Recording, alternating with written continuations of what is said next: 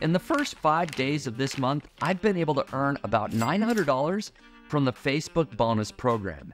And by the end of today, it's very possible that I'll be at over $1,000 in earnings my first five days of this pay period. In today's video, I'll share how I've been able to earn about $200 per day from Facebook this month. But I'll also share some unsettling truths about Facebook and its algorithms. But enough with the fun and games. It's time for everyone's favorite work. And of course, what to do about it. So let's jump in. So check out this earnings screenshot. As you can see, I've earned $897.62 since September 4th. And I'm recording this on September 9th, and today's not even complete. So in just under five days, I made about $900. Like I said, I may be at $1,000 by the end of today, but this also shows the posts that are earning the highest bonuses. So you can see that my number one post has made over $200. My second post, $120. My third post, $90. So all combined, that's three, $400 ish a little over $400 for my top three posts. And then the rest is coming from a variety of other posts. And uh, so I'm doing pretty well in the first five days of this pay period. But the truth is, the Facebook bonus program is not always great or consistent. Sure, it's nice when you have your content hit, but not all of your content does well. In addition, Facebook is always changing their algorithm for how they show content to a broader audience, just like Google. So the Facebook bonus program is not a magic bullet, but it sure is a fun side hustle. All right, here's three strategies I've been using to make up to $200 per day on Facebook. And be sure to stick around for how I combat the inconsistent nature of Facebook. First, you have to be invited to the Facebook bonus program. I've been making most of my money directly on Facebook, and this is only possible if you get invited.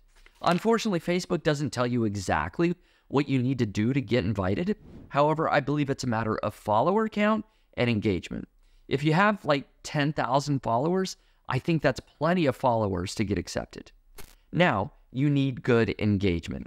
I started by posting up to 10 times per day to find what types of posts were getting the most likes and comments. I would not focus on sending traffic to your own website in the early days. Mark Zuckerberg wants to keep as many people on Facebook as possible. I mean, we all want to help poor Mark make more money with the Facebook, right? When Mark makes more money and more people stay engaged on Facebook, he might just throw you a bone and accept you into the bonus program. So think about keeping people on Facebook and commenting, liking, and sharing content as much as possible. Strategy number two is to discover what type of content gets the most engagement based on other pages and social media platforms. For example, I've been able to look at Twitter a lot for inspiration. So I have just three examples here that I'd like to share. So as I was scrolling Twitter, one of the first videos that came up just said bank transfer at the machine should be illegal. And it just shows this video of a person at a casino. And right there, while they're gambling, they can transfer you know, $20,000. It's a bad idea. This video has gone viral, has 27 million views on Twitter. So I could think about how can I post this same video on my Facebook page, have a different commentary. I know that people are engaging with this type of content. Another video that showed up here, um, and again, I'm going to turn off the sound, but it looks like somebody's about to get robbed. She throws her purse over the fence. Uh, this person goes in, right? And the commentary is, I did not expect this because he comes out, he gives her the purse and says, Hey, this is where I live. Uh, so, kind of just a funny video with a quick twist. It's got 38 million views on Twitter. In what way could you post this on your Facebook page? You don't just have to look at what's going viral within your main feed, you could also do a, a search. So, I did a quick search for baseball cards, and this is what showed up. You know, I miss the days when we didn't know what our baseball cards were worth, and it shows, you know, somebody drew a face on a Mickey Mantle card, right? Uh, kind of just a funny one. But if I were in the sports or the baseball card niche, I could take this image, I could add my own commentary, right? I might take a different angle, but this is sure to get a lot of reaction, right? You can see that almost a million people have seen engaged uh, with this post.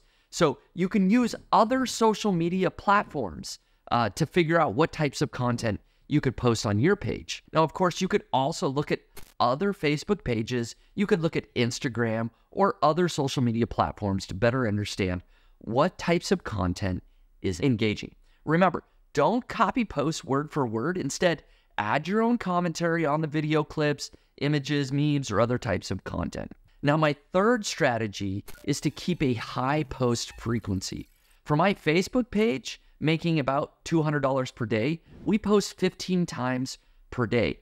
It's a lot of content. The more swings you take, the more likely you are to hit a home run. The reality is that not all of your followers will see all of your content. So your audience won't know you are posting 15 times a day. They might see one post a day from you if you're lucky. However, when Facebook finds that your audience is engaging with one or more of your posts, they will show it to a much broader audience. And that's when things can go absolutely viral and be shown to millions of people, people that aren't even following your page. I know all of this sounds great, but the hard truth is that Facebook is very inconsistent. But stick around, I'm going to give you an additional strategy to make your business a bit more consistent. For example, when I first got accepted to the Facebook bonus program, I made about $3,000 per month for the first two months. Then last month, my earnings tanked to just $1,000. So what happened? Well, Facebook decided to test out their algorithm and change things up. Lots of other people saw their earnings on their Facebook content plummet as well. But now Facebook appears to have tweaked their algorithm yet again and now my page and others are performing better than ever. So I wouldn't put all your eggs in the Facebook basket. I'd recommend having both a website and a Facebook page. When you have a website, you can build an audience through your email list. You can start getting traffic from Google, and you can obviously make money from ads on your website directly. So while you are running your Facebook page, I'd also start publishing content on your website. So right now, I post 15 times per day on Facebook, but two of those posts per day are actually links going to my website. So some of those posts on Facebook that lead to my website get lots of interaction, and I start making money on my website through ads primarily. However, I'm also starting to get traffic from Google because I'm posting so much. Yes, traffic from Google can also have its ups and downs, but the truth is, that my business overall makes way more money from free SEO traffic than I do from Facebook. So here's two secrets for maximizing the potential of your website. When your website gets traffic from Facebook, Google, or anywhere for that matter, you want to maximize the number of page views from each visitor. I personally use Link Whisper to help maximize visitor value in two ways. First, I add internal links to other articles on my site. As I write content, Link Whisper suggests relevant internal links to other content on my website. So I'll add a few internal links. I then track how many clicks these internal links get using the click tracking feature directly within Link Whisper. Each click these links get is a new page view on my website, and more page views equals more money. Based on the click tracking, I can tweak the anchor text or placement of these links to optimize the clicks. Think of it as an internal link A B testing to maximize page views. Another way I maximize page views is the related post widget for Link Whisper. I can add a related post widget at the end of an article or anywhere within the article that I decide. If someone is reading an article about basketball cards, for example, and I show them a few other articles about basketball cards, the odds are high that they may click and read another article. Link Whisper finds the related posts for you automatically based on categories and tags within WordPress. Now, if you decide that you'd like to check out Link Whisper, be sure to use coupon code VIDEO at checkout in order to get $25 off. Just go to linkwhisper.com or click the link in the description. So, even if you are wanting to make money from the Facebook bonus program, I highly recommend that you build a website as well in order to maximize your revenue. Then you have two revenue streams and two different sources of traffic. Want even more details on how I've been able to make money from Facebook? Be sure to check out my video about how I produced viral content on Facebook right here. Thanks again for watching.